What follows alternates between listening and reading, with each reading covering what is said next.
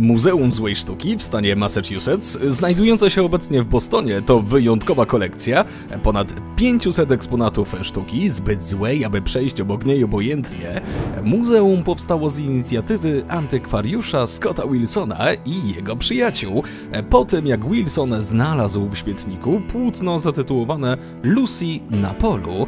Wbrew pozorom, muzeum ma dość rygorystyczne standardy. Niewiele obrazów jest na tyle złych, aby kwalifikowały się do zaprezentowania na takich wystawach jak huknięte portrety czy dziwne natury. Jak w każdym muzeum jest także miejsce na sklep z upominkami, gdzie zakupisz drukowane wersje obrazów, pocztówki, a nawet kubek z ulubionym przykładem złej sztuki. W szkockiej miejscowości Inverary znajduje się budynek, który 200 lat temu był więzieniem oraz sądem, a obecnie służy jako tak zwane żywe muzeum, gdzie odgrywane są historyczne wydarzenia ukazujące życie w dawnych czasach. W tym wypadku zwiedzający mogą się przekonać, jak wyglądał XIX-wieczny zakład karny, a także wziąć udział w procesie sądowym. Pracownicy noszą nawet kostiumy z epoki. Mr. Toilet House w południowo-koreańskim Suwon to muzeum jak żadne inne. Jak można się domyśleć po nazwie, a nawet po kształcie budynku, zajmuje się tematem szeroko pojętej historii i kultury toaletowej. Otwarto je na cześć byłego burmistrza, który przeznaczył wiele czasu i środków finansowych na udoskonalenie systemu toalet publicznych i kanalizacji w Suwon. Odkryjesz tutaj wyczerpującą historię kibelka, od pierwszych metalowych nocników przez rzymskie urynały, po współczesne toalety i ich oznakowanie na całym świecie. Niektórych eksponatów, zwłaszcza w ogrodzie, nie da się opisać. To trzeba po prostu zobaczyć. Tuż przy autostradzie, za miasteczkiem Valentine w Teksasie, stoi sobie coś, co na pierwszy rzut oka wygląda jak witryna sklepowa Prady, choć ździebko oderwana od rzeczywistości na środku pustkowia, ale drzwi butiku pozostają na zawsze zamknięte. Prada Marfa to rzeźba będąca przykładem land artu, dzieło duetu Michaela Elmgreena i Ingard Roxett. Artyści wybrali akurat tę markę, bo nie chcieli być pozwani za wykorzystanie własności intelektualnej, a Miuccia Prada podeszła do projektu bardzo entuzjastycznie, ba sama wybrała buty i torebki. Jeżeli chciałbyś mieć dom z dostępem do prywatnej laguny prowadzącej bezpośrednio do morza, musisz się przeprowadzić do Kuwejtu. Morskie miasto Sabah al-Ahmad, otwarte w 2016 roku, to prawdziwe cudo inżynierii wodno-lądowej. Na potrzeby projektu stworzono blisko 200 km sztucznej linii brzegowej, a sztuczne wyspy powstały nie w procesie nasypywania gruntu, czyli refulacji, co jest standardową praktyką, a poprzez przekopanie dużych kanałów w samej pustyni. Przed wejściem do tego muzeum należy zdjąć buty i założyć specjalne pantofle, aby nie uszkodzić eksponatów, bo w tym miejscu sztuka jest dosłownie wszędzie. Electric Ladyland to pierwsze na świecie muzeum sztuki fluorescencyjnej. Wystawiane jest tu całe mnóstwo świecących obiektów, od rzeźb wykonanych przez założyciela Nika Padalino po naturalnie luminescencyjne skały. W jednej sekcji są na przykład obrazy, które zmieniają barwy pod wpływem światła ultrafioletowego. Podkład muzyczny też jest świetny, głównie w klimatach The Beatles i Jimiego Hendrixa. Budynki odwrócone do góry nogami stanowią ostatnimi czasy niezłą atrakcję turystyczną. Tego typu architektura na opak pojawia się w wielu krajach, jak choćby w Japonii, Polsce, Niemczech i Austrii, ale jeden z najciekawszych przykładów znajduje się w Malezji.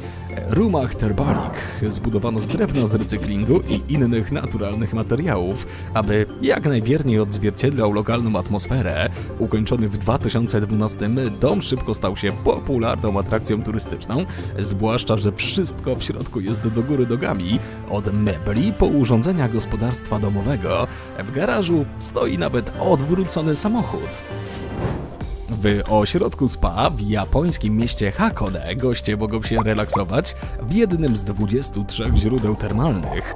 Nie byłoby w tym nic dziwnego, gdyby nie fakt, że niektóre baseny mają raczej niezwykłą aranżację. Możesz sobie na przykład popływać w misce zupki ramen albo w winie. Deadvlej w Namibii, co tłumaczy się jako martwe bagno, to panew pokryta białą spękaną glinką osadową. Nie ma tu w ogóle wody, a temperatura powierzchni w środku dnia sięga czasami 70 stopni. Główną atrakcją są szkielety drzew martwych od ponad 600 lat. Ze względu na rekordowo niską wilgotność krajobraz jest niejako zamrożony w czasie. Można się tu poczuć jak na obcej planecie. Nic więcej dziwnego, że nakręcono tu kilka filmów science fiction. Zgadnij, z czego zbudowany jest papierowy dom na północ od Bostonu. Ellis Stedman, notabene twórca maszyny do produkcji spinaczy, zbudował to cudo w latach 20. zeszłego wieku jako dwupokojowy domek letniskowy dla swojej rodziny. Ukończenie projektu zajęło mu ponad 20 lat. Wykorzystał do tego około 100 tysięcy gazet. Zakładam, że palenie zabronione. Cave Hotel w tureckiej Kapadocji to doskonały cel podróży, niezależnie od tego, czy jesteś zainteresowany historią, czy po prostu cenisz nietypowe, luksusowe wnętrza. Wszystkie apartamenty znajdują się w jaskiniowych siedzibach pochodzących jeszcze z epoki rzymskiej i bizantyjskiej. Kapadocja słynie również z wycieczek balonem. Okolica świetnie się do tego nadaje, bo rzadko wieje tu wiatr, a widok na miasto z lotu ptaka zapiera dech w pierściach, zwłaszcza o zachodzie słońca.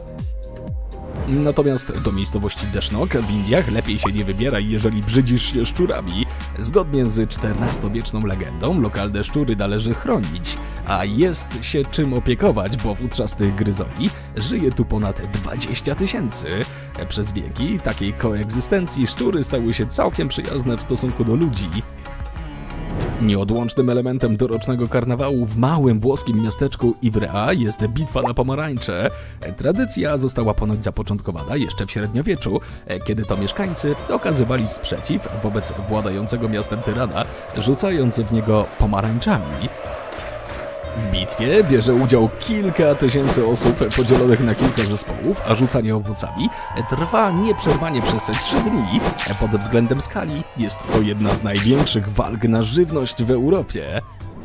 Należąca obecnie do Jemenu, wyspa Sokotra oddzieliła się od kontynentu afrykańskiego ponad 6 milionów lat temu.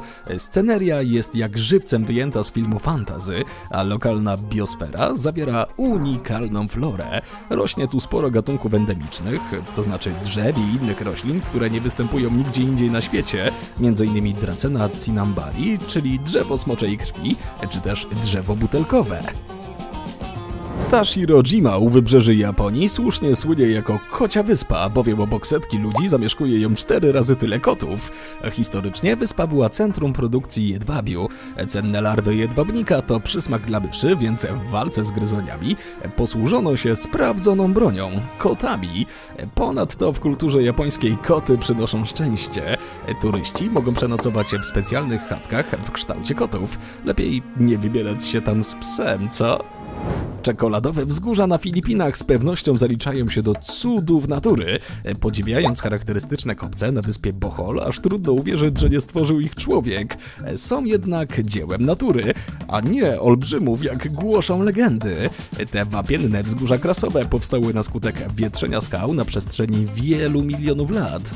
Zostały wpisane na listę Światowego Dziedzictwa Przyrodniczego. Nazwę zawdzięczają temu, że w wyniku nasłonecznienia suchą porą zmieniają kolor z zielonego na brązowy. Park Narodowy w tureckim Pamukkale, co oznacza bawełniany zamek, jest także wpisany na listę dziedzictwa przyrodniczego UNESCO. Miejsce to słynie z tzw. Tak trawertynów, wapiennych skał osadowych. Spływająca z góry krystalicznie czysta woda wytworzyła osady, z których na przestrzeni 14 tysięcy lat uformowały się progi oraz półkoliste i eliptyczne baseny. Widok jest tak piękny, że nie wiadomo czy robić zdjęcia, czy się wykąpać.